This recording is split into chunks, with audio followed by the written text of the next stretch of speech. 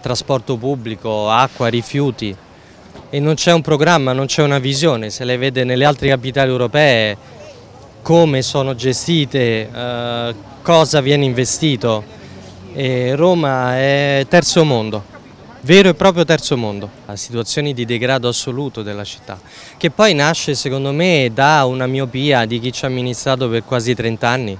si arriva sempre all'emergenza in tutto. Siamo preoccupati ma fino a un certo punto, guarda io credo che si debba soprattutto razionalizzare l'uso dell'acqua che c'è e che sia un po' una cosa come sempre un po' montata sul fatto che acqua c'è e non c'è.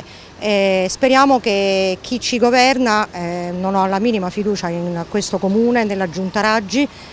possa prendere decisioni buone perché L'acqua ci serve, fa tanto caldo, per il momento non ho notato nulla però, è tutto molto tranquillo. Sì, sono allarmata di questo fatto perché penso che l'acqua è una cosa vitale e non è un oggetto eh, negoziabile ed è un diritto di tutti. Non è sicuramente un problema della città di Roma, è un problema di un cambiamento più sostanziale che sta coinvolgendo, vabbè, una parola grossa è il pianeta, sicuramente la,